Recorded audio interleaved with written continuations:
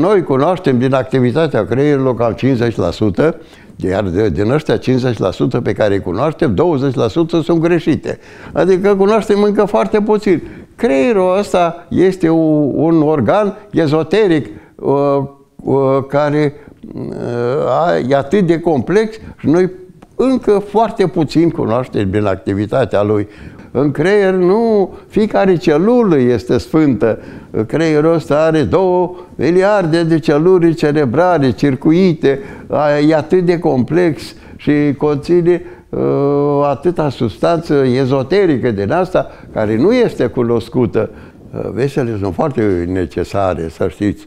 Uh, visele um, sunt uh, niște aranjamente pe care creierul le face în timpul nopții. De aia spun că somnul este foarte important pentru individul respectiv. Dacă un individ este privat de somn, o perioadă de câteva zile uh, nu se simte bine, să știți. Sufletul este, există, să știți. Sufletul uh, coordonează activitatea întregului uh, organism.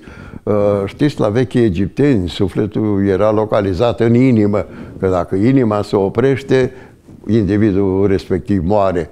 Pe urmă au venit alții savanți și au zis, nu domnule, că în creier este localizat sufletul, uh, da, dar creierul are două hemisfere. Și atunci a zis, da, are două hemisfere și atunci este în pineală, pineala este unică. Da, da. Pe urmă a zis că e în corpul calos, că și ăsta e unic. Fiecare și-a dat uh, anumite păreri, da, unde este localizat acest uh, suflet. Dar el este, uh, dirigează, după ce moare individul, acest suflet este totuși material, este ceva, să știți. Uh, un bec, de exemplu, uh, dacă îl stingi, nu se mai vede. Dar fotonii respectivi, ei nu s-au pierdut. Ei sunt în univers. Așa și sufletul nostru. Moare un individ, dar un individ în universul ăsta care e atât de mare, nu are nicio valoare. Există, se duce în univers și dacă ei prind anumit oameni care vin în concordanță, rezonează cu activitatea lor, influențează, să știți,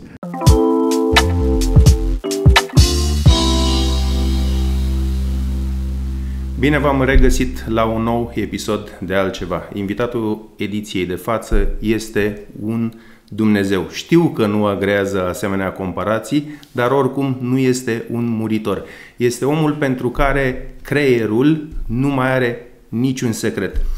Domnule profesor doctor Leon Dănăilă, bine v-am găsit bine, acasă la dumneavoastră, într-un fel. Da, mulțumesc. Domnule profesor, mi-am îngăduit să vă numesc Dumnezeu pentru că vă mărturiseam și înainte de a începe această înregistrare, i-ați uh, redat viața tatălui meu în urmă cu 15 ani. Atunci când unii colegi ai dumneavoastră îi acordau, îi atribuiau șanse minimale de supraviețuire, dumneavoastră ați intrat în sala de operație într-o dimineață la ora 4 și până la ora 7 ați înfăptuit miracolul, i-ați redat viață. Și trăiește și astăzi grație dumneavoastră.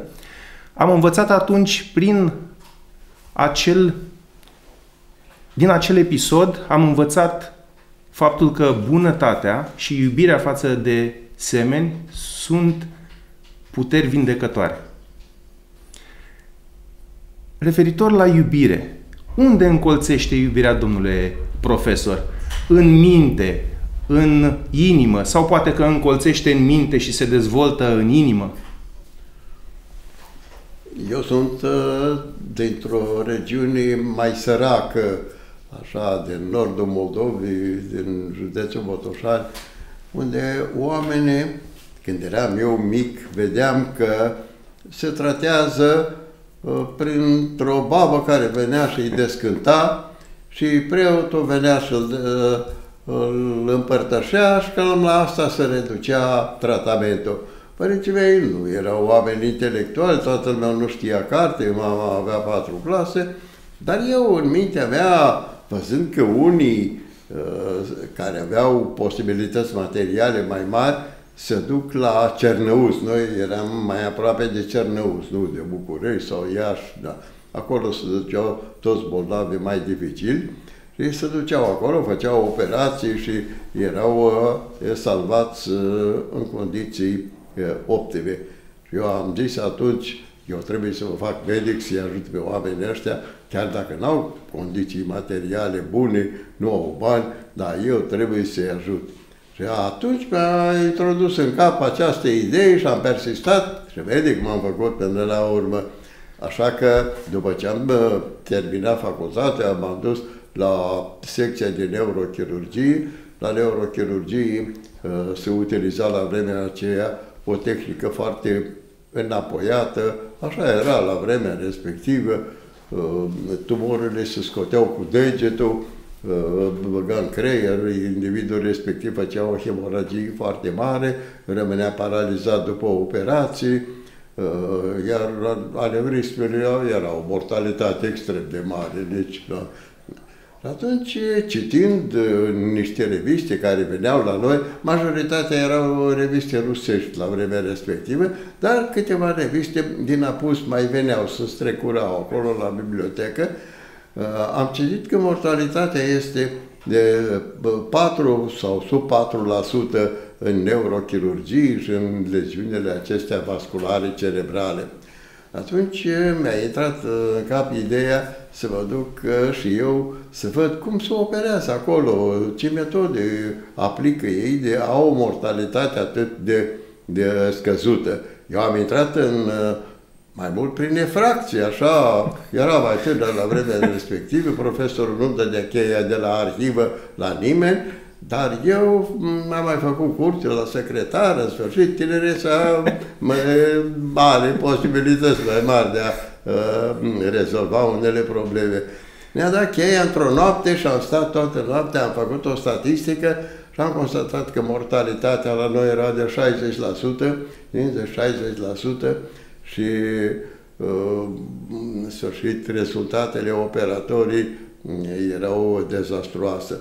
A zis atunci, trebuie să mă duc și eu în, undeva în apus să văd cum operează de o mortalitate 4%.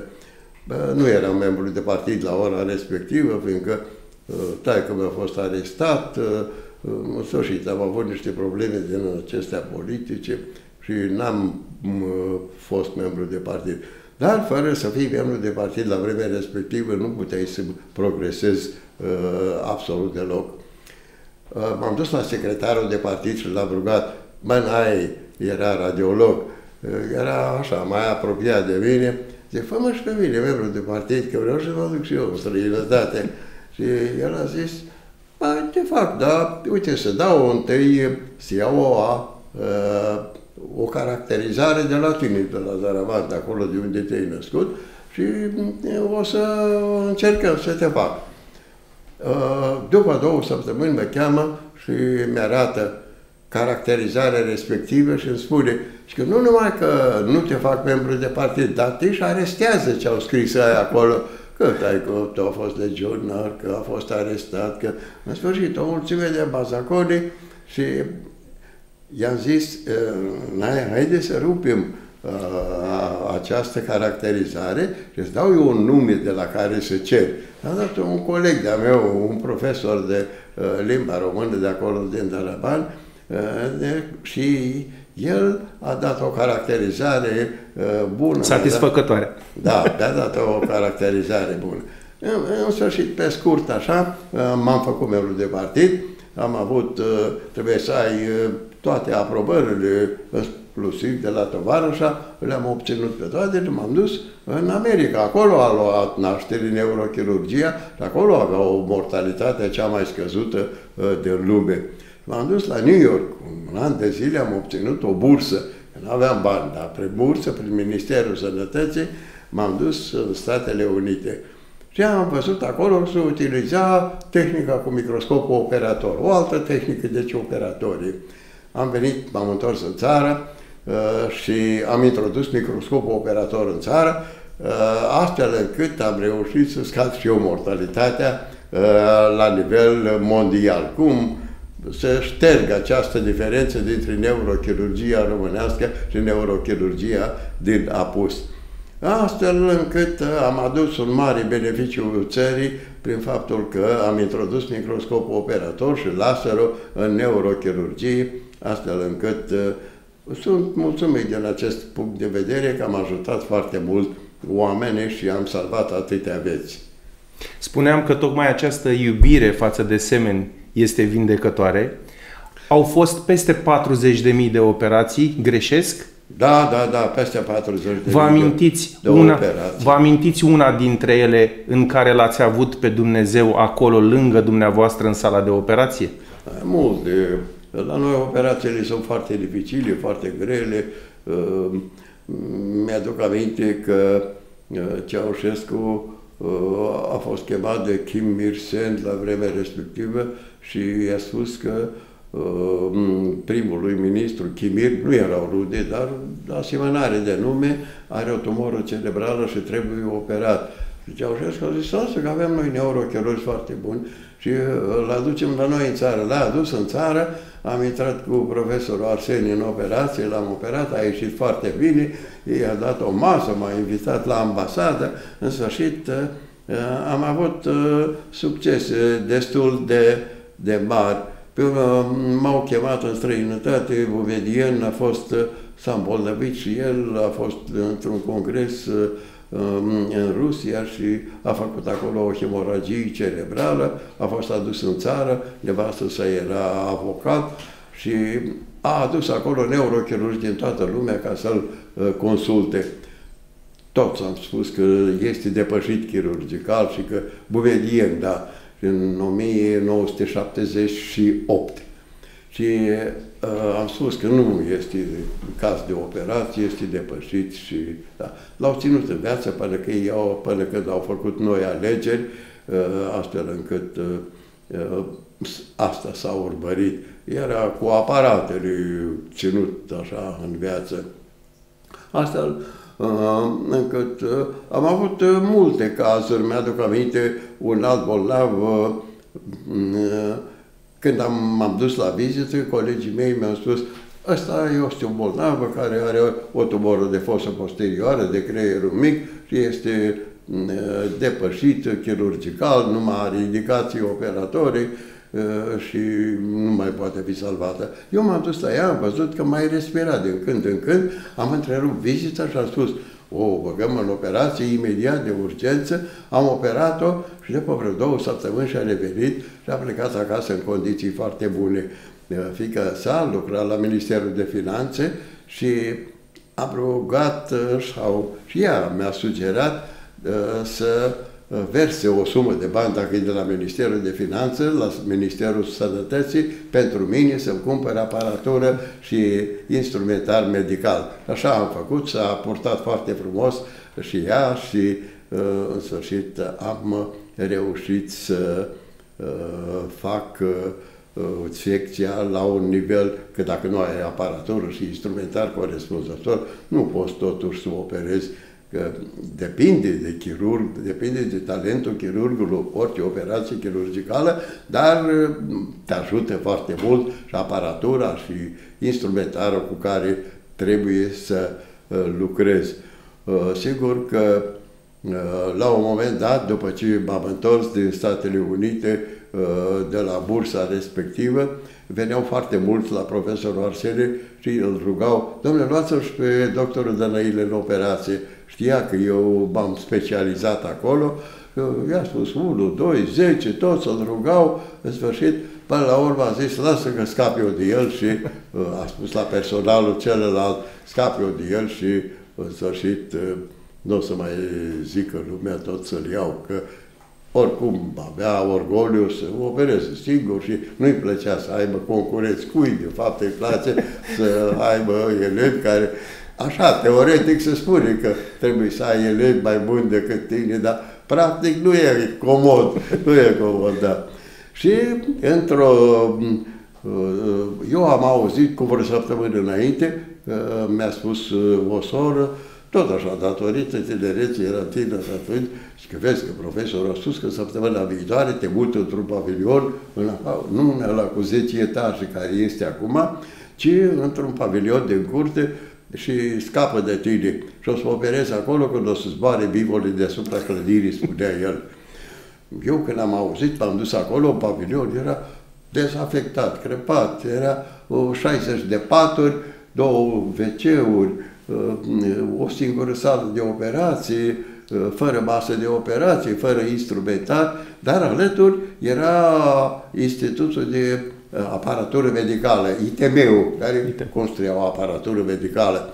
M-am dus, am scos bani din buzunar și am spus, mi-am făcut masă de operații, instrumentar, mi-am pregătit tot și luni, într-adevăr, m-a chemat. Și că, bai de la ilă, eu știu că tu ești foarte bun, vreau să te ridic. Dar n-am loc în secția asta, în pavilionul ăla cu 10 etaje.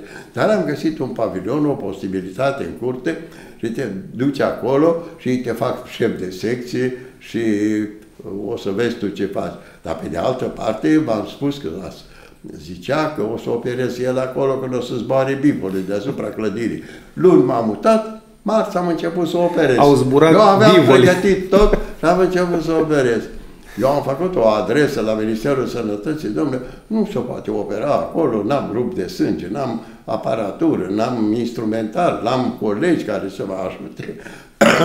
Astfel încât uh, la Ministerul Sănătății a zis, uh, știți că profesorul Arsenie uh, o consultație pe, pe Ceaușesca și a avut un traumatism foarte minor și a zis N-are, domnule, nimic, n-are nici pe dracu. Deci Ceaușescu i-a plăcut chestia asta, să vezi, domnule, și într-adevăr, n-a avut nimic așa deosebit, încât i-a făcut pavilionul ăla cu 10 etaje, eu mergeam cu el, așa, unde facem sala de operații, unde facem tot, unde am plasat laboratoarele, așa, el ținea la mine așa, fiindcă știa că sunt mai bun, dacă în chirurgie nu ești talentat și nu ai ca și în pictură, ca și în sculptură, cât nu pictează, cât nu sculptează, dar câți rămân uh, așa uh, renumiți.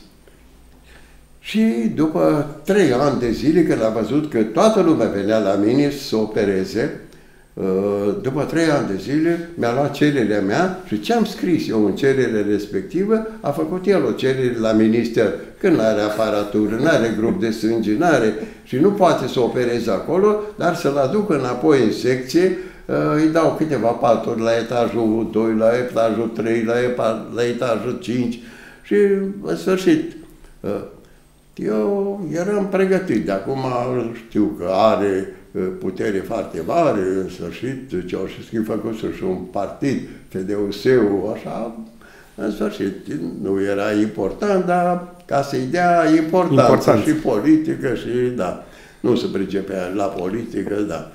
Și uh, m-am dus la Ministerul Sănătății, m-au chemat aia, uh, eu le-am zis, știu că vreau, vreți să mă mutați înapoi acolo și mi-a zis, nu, nu te mai mutăm, tu vezi de treabă acolo, deocamdată stai. Eu m-am mirat foarte mult. De ce nu mă mută când Arsene așa avea putere foarte mare și dacă el a cerut să mă duc înapoi acolo, să nu... Da.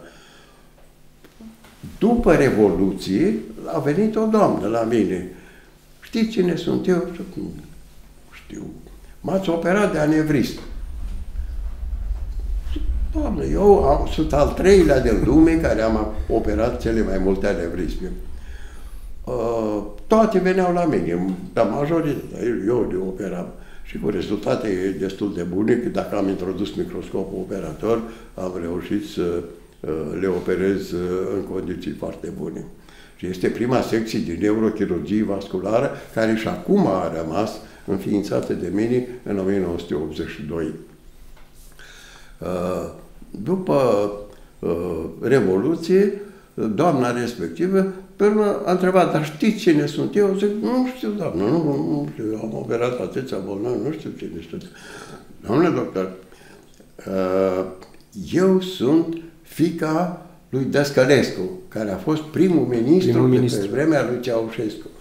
Și Și știți că Arsenie a vrut să vă mute de aici? Știu, da. Tatăl meu l-a chemat pe ministrul sănătății și a spus, nu vă atingeți de doctorul Dănăile, că o operație pe fică sa a ieșit foarte bine. Și atunci mi-am explicat, domnule, tot datorită profesiei și datorită uh, mijloacelor mele uh, de a rezolva bolnavi dificil, am reușit să rămân acolo. Dar este cel mai mare beneficiu din uh, viața mea că m-am mutat acolo. Eu am putut să uh, operez singur, luam decizii singur, am putut să public singur, publicam lucrări când eram dincolo în pavilion, mă duceam și îi le prezentam. Domnule profesor, am făcut cu tare lucrare, cum pune autorii? Păi cum vrei tu, sau după alfabet, el totdeauna era primul. primul. Da, că era cu A, serie. Sau după importanță. El era conferențiar, un specialist la vremea respectivă. Așa că tot primul era.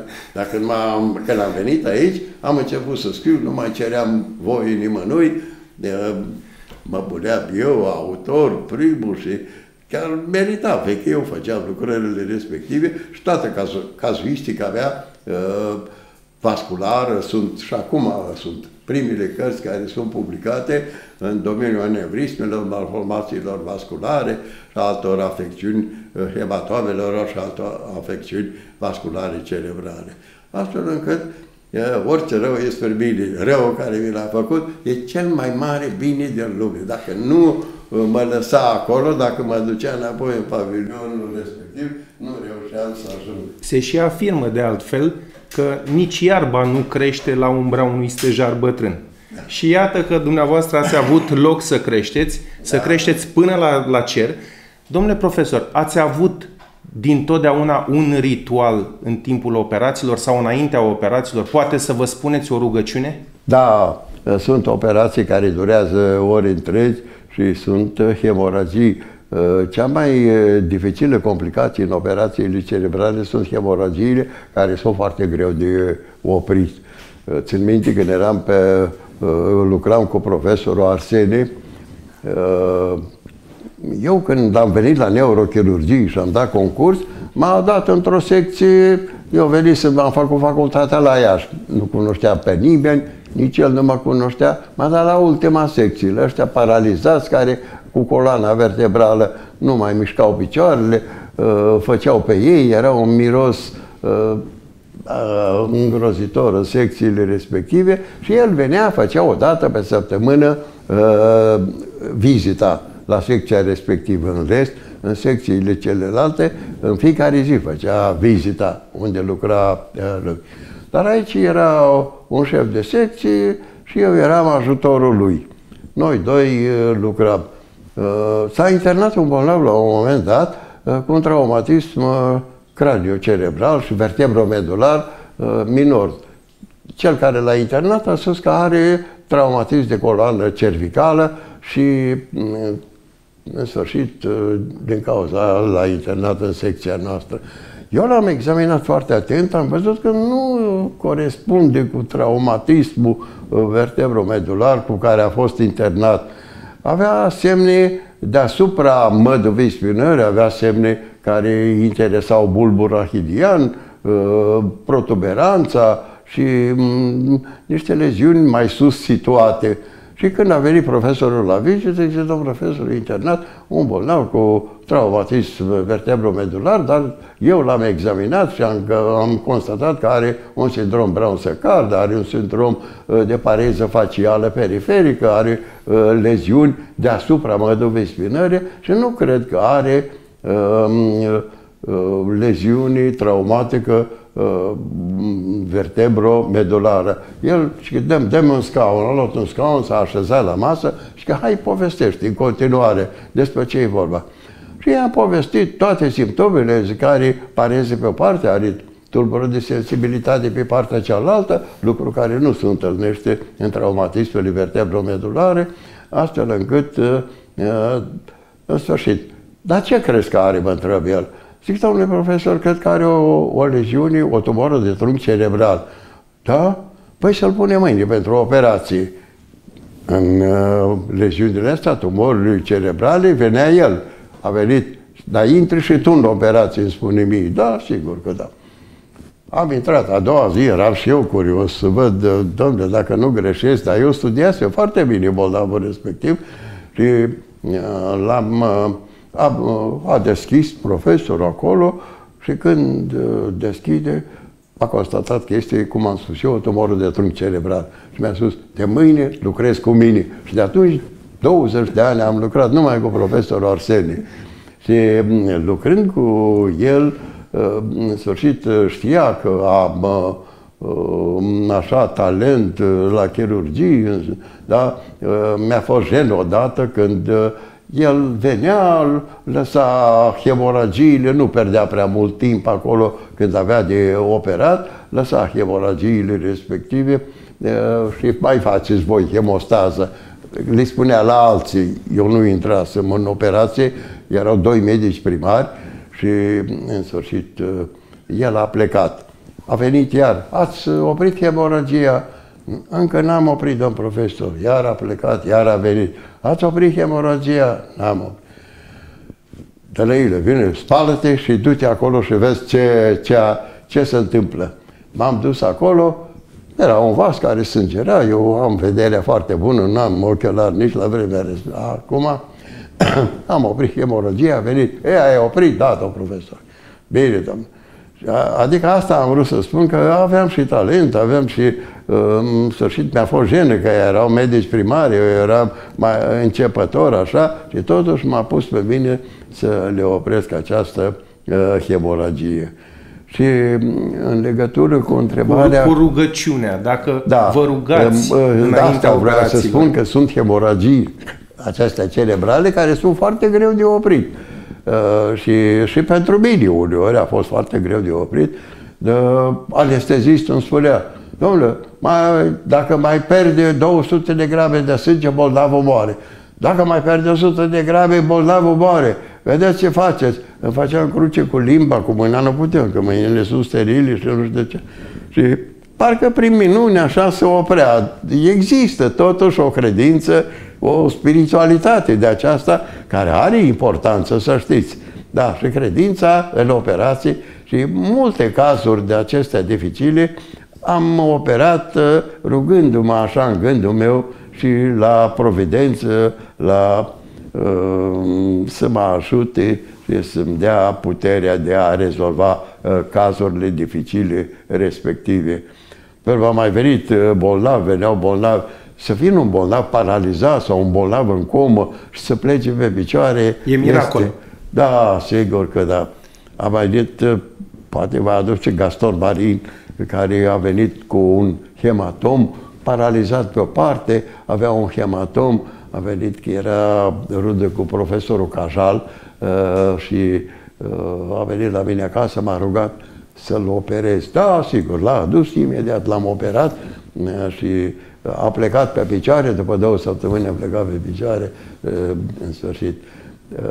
M-a invitat aici la Coșchi, asta e Casa Academiei. Oamenilor de știință. Da, oamenilor de știință și era un bec de pe vremea ăstuia care a înființat a becurile respective.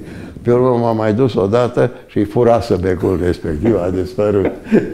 Domnule profesor, Regretatul profesor Adrian Restian scria la un moment dat uh, într-o carte de-a domniei sale faptul că în genele noastre umane probabil există implantată uh, rugăciunea, în genele noastre ale românilor, probabil ortodoxe uh, scria, există implantată rugăciunea. Rugăciunea este, ca și meditația, sau poate mult mai puternică decât meditația, este un antrenament pentru creier? Da, este rugăciunea, într-adevăr, este foarte importantă. Uh, rugăciunea um, are trei misiuni foarte importante. În primul rând, oamenii se roagă să le rezolve anumite probleme dificile. E cel mai frecvent când omul se roagă pentru, uh, pentru ceva. Uh, în al doilea rând, rugându-se și rezolvând problemele respective, oamenii mulțumește lui Dumnezeu pentru, ce, pentru puterea care i-a dat-o și a rezolvat problemele dificile de care era.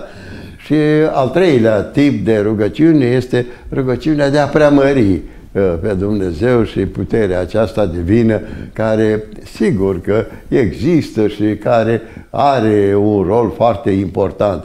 Dacă nu ai credință, nu rezolvi, să știți. Trebuie să ai credință. Credința ajută foarte mult pe om să rezolve anumite probleme, dar și să, să se comporte corespunzător în situații foarte dificile.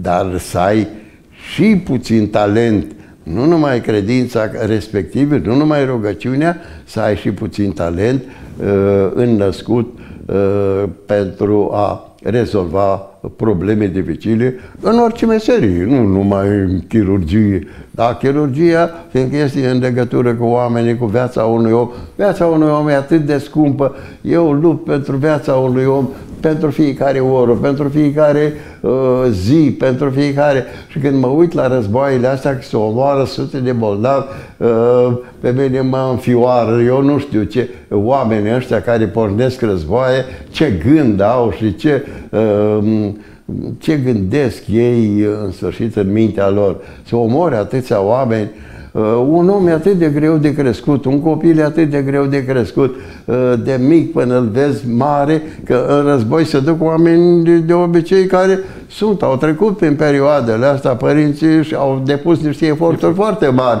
ca să faci un copil să ajungă la maturitate. Și cât de greu este și cât de ușor este să-l trimiți în război și într-un minut să, să-l omori. Da, pentru mine este, este inexplicabil de ce judecă unii politicieni în felul ăsta. Ați avut la un moment dat în întreaga dumneavoastră carieră un sentiment într-o sală de operație de neputință și ați plâns vreodată în sala de operații? N-am plâns, n-am avut uh, sentimentul ăsta de a plânge, dar uh, am avut uh, așa, că dacă ai emoții, îți trebuie mâinile, nu trebuie. În operații, operațiile astea pe creier, dacă greșești un milimetru, e foarte dificil, să știți. În creier nu, fiecare celulă este sfântă. Creierul ăsta are două miliarde de celule cerebrale, circuite, e atât de complex și conține Uh, atâta substanță ezoterică din asta, care nu este cunoscută. Eu am făcut și eu cercetări și am cheltuit o mulțime de bani cu uh, creierul acesta și cu descoperirea unor aspecte deosebite ale creierului, fiindcă nu este totul numai să operezi. Trebuie să faci și cercetare, să vezi uh, cât de complex este uh, acest creier.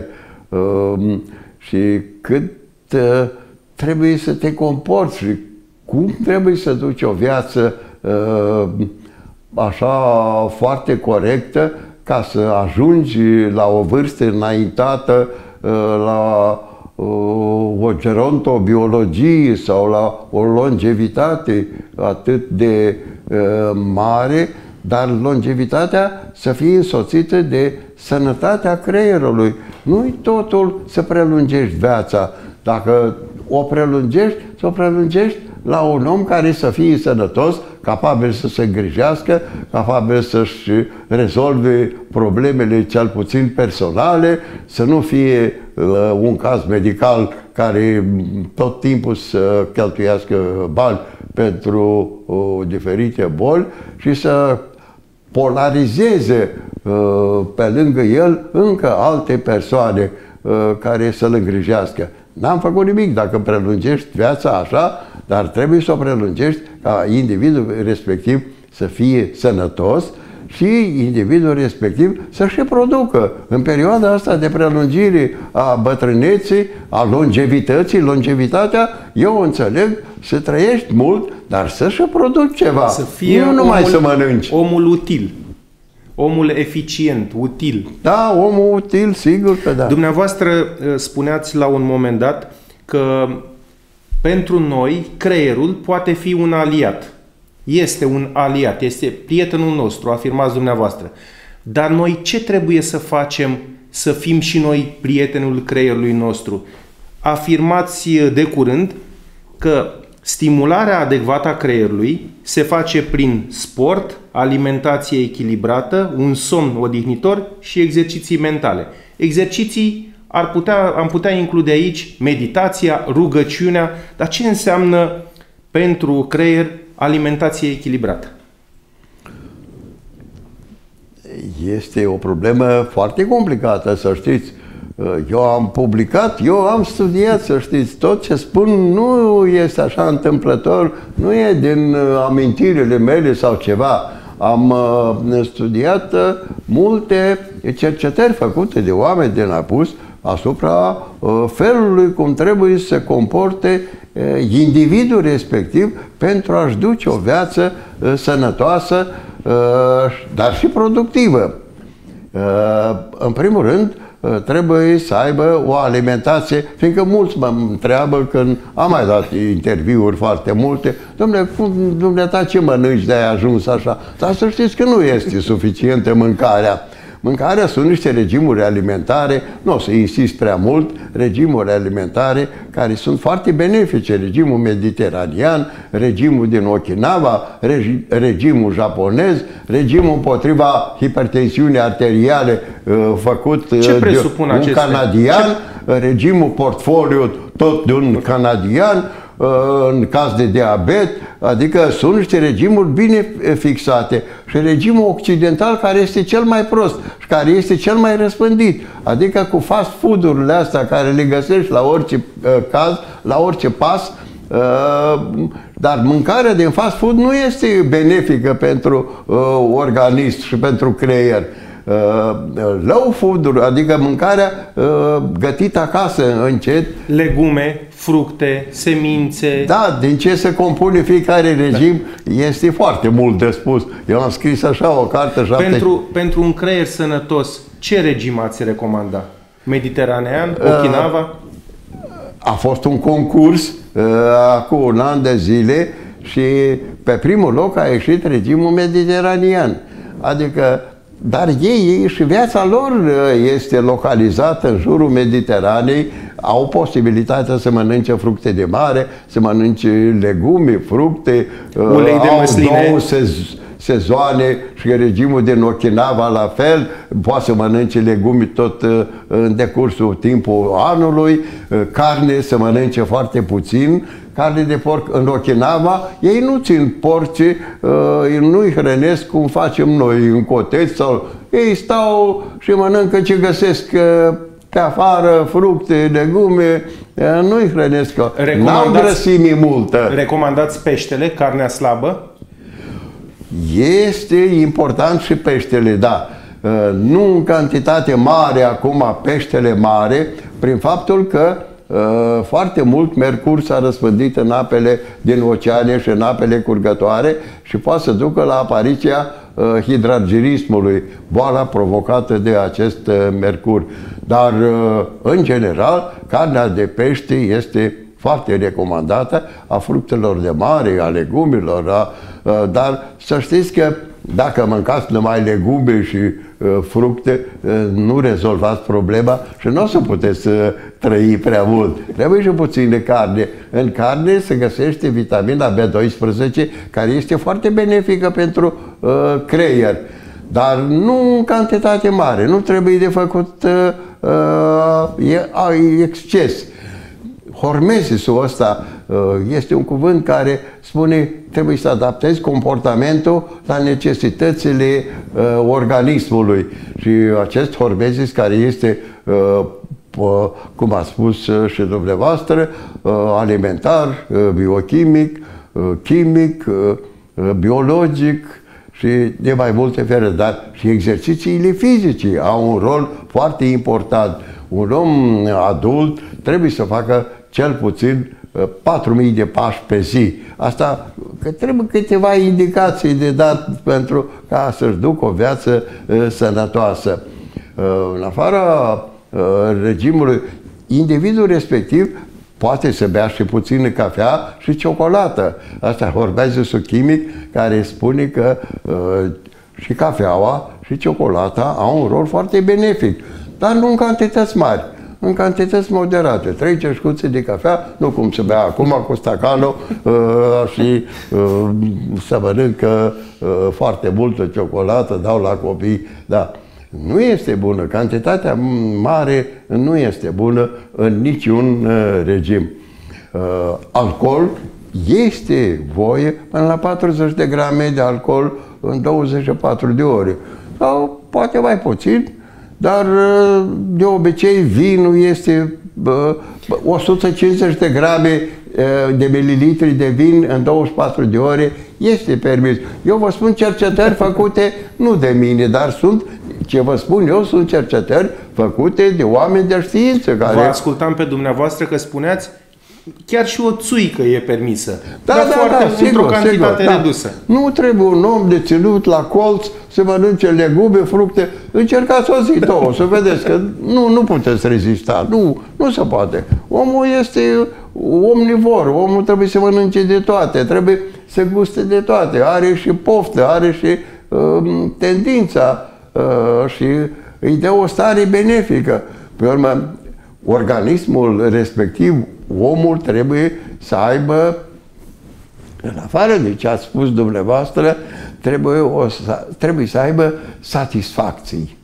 Trebuie satisfacții, că dacă nu ai o satisfacție uh, psihică, nu reușești, în activitate mă refer, uh, nu reușești să te adaptezi și să obții rezultate foarte bune, fiindcă uh, starea uh, aceasta depresivă și starea de supărare continuă duce la apariția tulburărilor de imunitate și chiar până la apariția cancerului. Deci, uh, această stare de uh, satisfacție și uh, starea de uh, succes în activitate sunt foarte importante. Pe urmă, uh, spiritualitatea, credința, uh, la fel, sunt foarte importante. Un alt factor, trec mai repede puțin, fiindcă e, e mult de spus despre fiecare și eu le-am studiat și ce vă spun eu nu sunt uh, baliverne sau lucruri așa din amintire, sunt lucruri cercetate. Somnul este foarte benefic pentru organism. Somnul este foarte benefic, este organismul are nevoie de somn. Până Câte la, ore de somn? Da, până la 6-7 ore în 24 de ore are nevoie de muzică. Muzica îți creează o stare benefică. Uh, muzica, în special de Mozart, muzica uh, aceasta lentă, este și muzică. Există și studii care arată că muzica lui Mozart stimulează activitatea cerebrală. Da, da, stimulează activitatea cerebrală. Da, sigur că da. Și uh, în afară de uh, acestea, deci activitatea fizică, mersul, alimentația, satisfacțiile, succesele, uh, starea morală și starea societății care se reflectă asupra individului, relațiile pe care le ai cu indivizi de Bunătatea. Omul nu poate trăi singur. Omul este un om social. Dacă nu trăiești în relații cu prieteni, cu uh, să te mai duci, să te mai distrezi, să te... e foarte important. Organismul are nevoie, creierul are nevoie uh, de această stare de, de relaxare. Optimismul este foarte important uh, în acest domeniu. Sunt oamenii pesimiști au tulburări foarte mari și care pot duce chiar, sunt studii vă, ce vă spun eu, sunt studii, da, pot duce la apariția, am spus odată, la apariția cancerului, da. Mărturiseați dumneavoastră că oamenii care manifestă anxietăți, care manifestă stări de depresie, sunt oamenii care, practic, sunt cei mai mari dușmani ai lor și că își afectează imunitatea și spuneați uh, într-un interviu că există o legătură între suflet și trup, între minte și, și trup. În permanență există această legătură, starea uh, de bine, starea de bunătate, starea de iubire ne uh, conturează și un trup sănătos și ne ajută să avem un trup sănătos. Da, uh, este o legătură între creier, în creier este uh, un creier mai profund, subcortical, care coordonează sistemul vegetativ al organismului, care dirigează organele interne, este uh, hipotalamusul cu hipofiza care dirigează sistemul endocrin al organismului, este uh, sistemul uh, activator, reticulat uh, și inhibitor, creierul are și un sistem inhibitor, fiindcă organismul nu poate trăi numai cu activitate excitatorie, uh, nu este benefică, s-ar distruge, dar are uh, nevoie Sistemul inhibitor, cam 20% din creier are un rol inhibitor asupra activității organismului. Dar și organismul, starea organelor interne are influență asupra creierului. E un feedback între creier și organism. Și creierul influențează organismul, dar și organismul și starea ficatului, rinichiului, ă, pancreasului influențează activitatea cerebrală. Mărturiseați ă, despre ă, hipotalamus mai devreme și tot dumneavoastră îl numeați creierul creierului. Și spuneați că acest hipotalamus este foarte important de a fi antrenat în permanență de către noi. Și găseați uh, exact ce uh, afirmați da. mai devreme, rugăciunea fiind uh, un antrenament foarte bun pentru acest creier al creierului. Da, da, da, da, da. Este. Există și alte exerciții mentale? Meditația, poate? Mindfulness, adică meditația Uh, pe care noi o facem iarăși este foarte bună pentru activitatea cerebrală și pentru activitatea organismului în general. Da. Uh, se spune că noi cunoaștem din activitatea creierului cam 50%, iar din ăștia 50% pe care îi cunoaștem, 20% sunt greșite. Adică cunoaștem încă foarte puțin. Creierul ăsta este un organ ezoteric uh, care e atât de complex și noi încă foarte puțin cunoaștem din activitatea lui. Unii au spus că e cea mai complexă uh, materie din univers. Un fizician m-a întrebat pe mine, dar de unde știți voi că asta e cea mai complexă? Că noi nu cunoaștem universul. o fi avut dreptate, da, universul ăsta este foarte mare și câte lume o mai fi în nu suntem noi, tot universul ăsta, singura civilizație.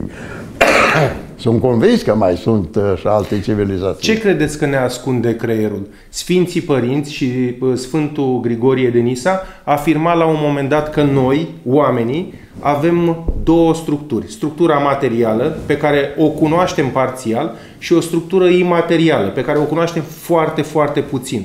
Poate că și această structură imaterială a creierului presupune uh, și uh, presupune o mică parte de cunoaștere din partea noastră la acest moment. Ce credeți că ne ascunde creierul? Până unde poate să meargă această legătură? Să facă legături până unde? Cât de departe putem merge? Creierul nu ne ascunde nimic. Noi nu putem uh, studia, că nu avem mijloace la îndemână ca să studiem toate. Uh, eu am scris uh, anul trecut un articol despre gândire că gândirea influențează anumiți oameni. Gândirea, gândul este o formă materială, dar și energetică. Ea vine în contact cu alți indivizi și dacă vine în concordanță cu mintea altor indivizi, ea se transmite cu o viteză extraordinară. Nu cunoaștem noi undele astea, uh, încă uh, nu sunt descoperite ale gândirii, dar uh, gândirea este foarte importantă. Așa se explică cum în omenirea asta au fost descoperite în același timp două lucruri diferite. Cum au fost diferite teorii din asta, matematice sau sfârșit.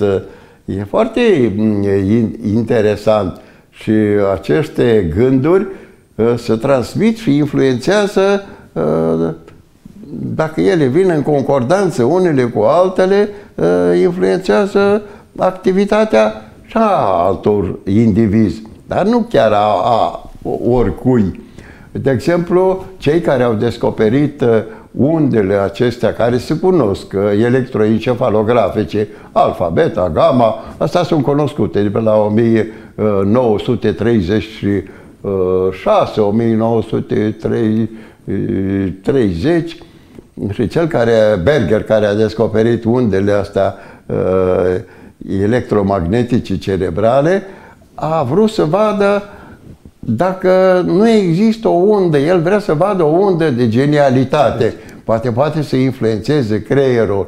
Și atunci l-a rugat uh, pe Einstein, nu vrei să vii să înregistrăm? Și Einstein a fost de acord. și l-a dus într-o cameră, i-a pus electroze respectiv, toți au ieșit afară să înregistreze activitatea cerebrală și i-a spus, maestre, te gândești la o problemă genială, să vedem, noi ne interesează undele de genialitate, asta vrem să descoperim noi. Da, toți au ieșit afară, se uitau pe niște gemulețe și la un moment dat apar niște unde, anapă, așa, l-au lăsat, undele s-au liniștit, au intrat, mai este, ce s-a întâmplat? Ce problemă genială ai descoperit? Și el spune, a, mi-am adus aminte că am lăsat robinetul la baie deschis. Așa că, da, nu există o unda genialității. Au căutat și ăștia care au descoperit uh, uh, substanțele astea care dirigează ereditatea, ceva, uh, să vadă dacă există ceva genial. Um, n-au descoperit încă nimic așa, cromozom sau genic care să fie specifici genialității. Nu s-a descoperit. Două minți umane pot comunica între ele? M-aș referi aici la telepatie. Da, sigur, am spus mai înainte că toți, dacă există o concordanță de unde, poate să fie. Telepatia e foarte importantă, ca și ce am scris eu, articolul respectiv l-am publicat, ca și activitatea gândului, este, există, există o realitate, să știți. Uneori poți să comunici, în special gemenii pot comunica între ei și Părinții și copii. dacă un frate geamăn a pățit ceva, el simte la un moment dat așa o activitate deosebită. Dar nu undele respective încă nu sunt tehnica încă nu, dar se va pune în evidență. Nu probabil. le putem noi măsura încă. Zic, nu putem măsura încă aceste unde. nu, nu dar putem, ele, nu, ele nu dincolo, le putem pune. Dincolo de aceste instrumente de măsură, ele există. Da, da, da, există, dar nu sunt suficiente, nu. Nici undele, nu să știi, nu se cunosc din ce cauză apar undele respective, da.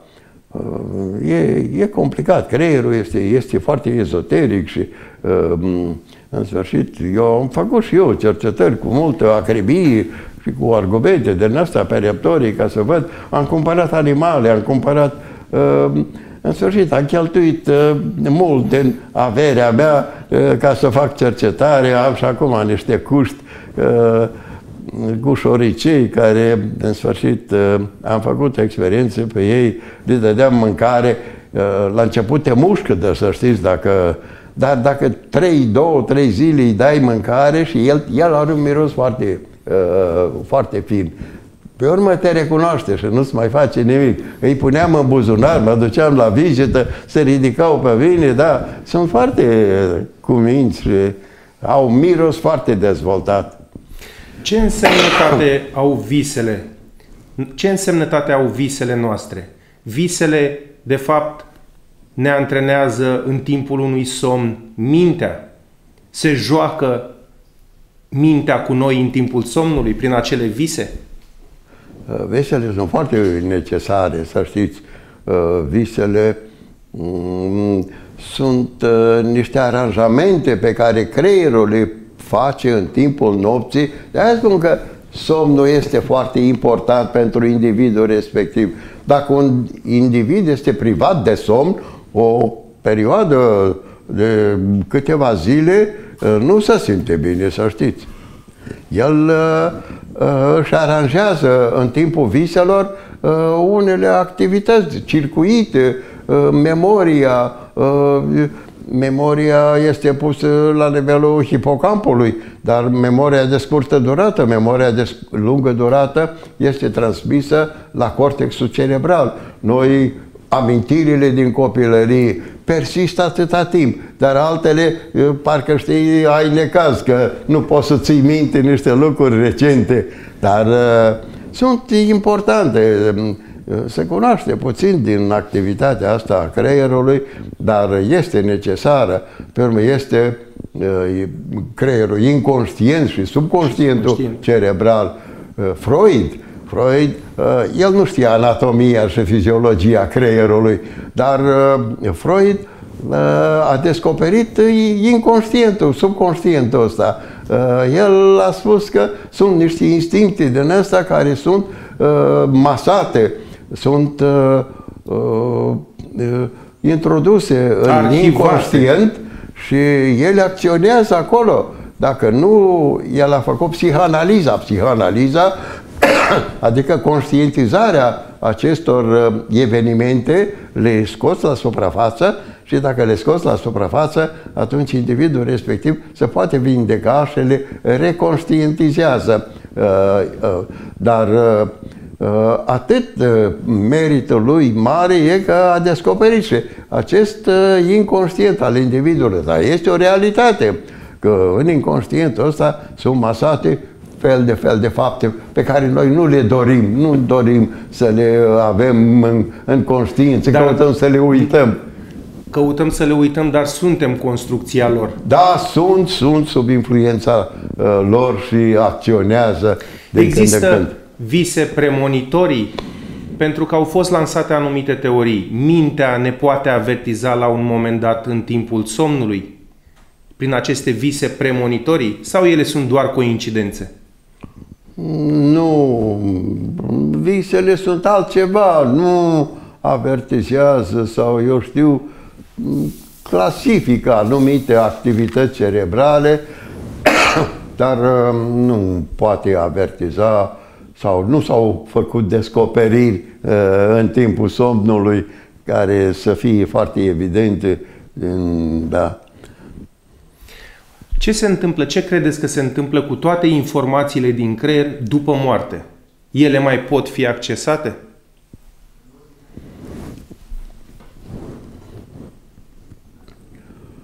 Uh, știți, uh, creierul uh, este, are o activitate uh, foarte intensă și după după moarte, această activitate e problemă, eu acum mă ocup de suflet și creier.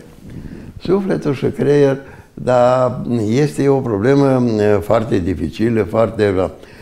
Sufletul, știți, nu vreau să divulg prea multe lucruri despre acest subiect, fiindcă nici eu de-abia îl studiez acum, dar sufletul este, există, să știți. Sufletul uh, coordonează activitatea întregului uh, organism. Uh, știți, la vechi egipteni, sufletul era localizat în inimă, în inimă. că dacă inima se oprește, individul respectiv moare. Pe urmă au venit alți savanți și au zis, nu domnule, că în creier este localizat sufletul. Uh, da, dar creierul are două hemisfere. Și atunci uh, a zis, da, are două hemisfere și atunci este în pineală. Pineala este în unică. Glanda pineală. Pe urmă a zis că e în corpul calos, că și ăsta e unic. Fiecare și-a dat uh, anumite păreri, da, unde este localizat acest uh, suflet.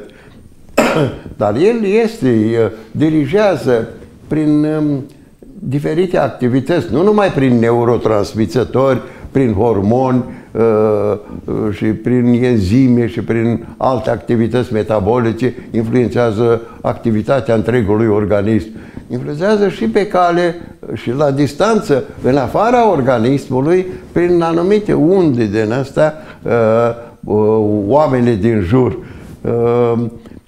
Uneori v-ați uh, uh, sesizat și dumneavoastră că dacă vă întâlniți cu cineva, uh, dacă este vesel, îl vedeți după față sau după uh, simți uh, că ceva nu e în regulă, Conturul dacă e supărat. sufletului. Sau, da, adică există m, niște activități din astea care trădează activitatea uh, organismului și a creierului și influențează musculatura și toate celelalte organe uh, datorită activității creierului.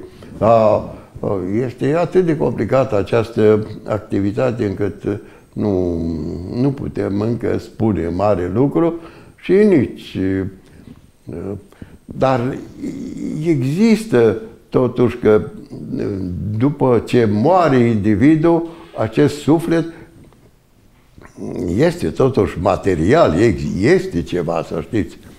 Uh, un bec, de exemplu, uh, dacă îl stingi, nu se mai vede. Dar fotonii respectivi, ei nu s-au pierdut. Ei sunt în univers. Așa și sufletul nostru. Moare un individ, dar un individ în universul ăsta care e atât de mare, nu are nicio valoare. Există, se duce în univers și dacă ei prind anumit oameni care vin în concordanță, rezonează cu activitatea lor, influențează, să știți. Pe parcursul celor 40.000 de operații, când ați deschis un creier, l-ați găsit vreodată acolo pe Dumnezeu, în creierul uman? Este el în genomul uman, în celula noastră? Nu există în creier niciun centru religios sau un centru care să spun că este dedicat acestei activități. Dar întreaga activitate a creierului, care mm, se gândește la această divinitate metafizică. E metafizicul ăsta care noi percepem cu organele noastre de cinci fizicul. A, dincolo de acest fizic există metafizic, există ceva meta... Ce e asta metafizic? Din antichitate au încercat, filozofii au încercat să explice metafizicul ăsta. Și fiecare și-a dat cu părerea, sunt uh, unele idei chiar așa copilărești, dar ce metafizicul, dar ei au discutat. Filozofia n-a descoperit nimic, nu. Ei își dau cu părerea și spun că ei mai mult acționează pentru a îmbunătăți relațiile dintre oameni, dar ei nu pot să descopere nimic, da. Filozofia nu a descoperit nimic, știința are limitele ei, pentru că anul trecut purtam uh, un dialog cu, cu uh, regretatul academician Constantin Bălăceanu Stolnici și uh, uh, pe tema aceasta este Dumnezeu în creierul uman, uh, îmi afirma faptul că n-ar trebui să-L cercetăm pe Dumnezeu pentru că nu avem puterea deocamdată să-L cercetăm pe Dumnezeu. E metafizica asta care trebuie să o cercetăm. Dumnezeu în fond ce este? O, ceva metafizic, ceva, o putere aparte. Uh, universul ăsta ce este? Infinit, marginile, unde sunt, ce este la, la marginea universului? Sunt atâtea întrebări care creierul nostru este finit. Și nu poate îi percepe infinit, așa au zis unii. Dacă două creiere umane am acceptat uh, că pot uh, discuta, pot intra într-un dialog, există un creier deasupra tuturor la care noi ar trebui să ne conectăm, fie că el se numește Dumnezeu sau cum se numește. Ba, nu are importanță cum se numește, nu, metafizica asta numește foarte diferit. Eu, filozofia, eu am făcut și facultatea de filozofie, am făcut și filozofia, dar nu am găsit niște uh, definiții sau niște lucruri concordante care să explice activitatea asta uh, dincolo de, de puterile noastre, de gândirea noastră, de, dar există ceva care totuși noi nu putem percepe și nu, nu putem cerceta încă. Nu. Cum există și alte lumi. Să nu credeți că noi suntem singura uh, planetă cu omenire. Nu. Există în universul ăsta care e atât de mare, mai există categoric, eu sunt convins, există și alte lumi, dar cine știi la ce distanță și la ce, da. Din ce spuneți, este evident că nu se termină totul aici. Nu, nu, sigur. Poate doar a început aici. Pe de altă parte, dacă am vrea să-L întâlnim pe Dumnezeu, e suficient să ne uităm și la oameni ca dumneavoastră. Pentru că Dumnezeu, prin oameni ca dumneavoastră, lucrează. Poate noi îl căutăm undeva sus pe cer, dar noi îl putem căuta în interiorul nostru sau în interiorul oamenilor ca dumneavoastră, care arată bunătate, care arată iubire, care arată devotament față de ceilalți din, din prejur. Și aș vrea să vă mulțumesc, domnule profesor, pentru această discuție. A fost o discuție optimistă. Da, foarte plăcut, da. O sigur, discuție da, care da. sunt convins că antrenează multe minți care ne-au urmărit până la da, acest da. moment și uh, cu voia dumneavoastră aș vrea să vă lansez deja o invitație viitoare după ce veți fi terminat cercetarea uh, privind sufletul. Ah, da, da, da, scriu o carte, da. da. Vă da, o studiez eu foarte bine, așa că uh, e complicat totuși, da. Sunt niște ipoteze, ori mai veni și alții, ori mai completa. Nu rezolvi o problemă. Până la urmă, rolul unei opere este să genereze discuții și da, să și ajustabilă da, da, în da, permanență. Da. Fiecare adaugă câte bucăți. Cât poate. Vă mulțumesc încă o dată Eu foarte mult și Dumnezeu să vă uh, protejeze. Dumnezeu să vă protejeze și pe voi uh, și până la ediția viitoare uh, gândiți sănătos.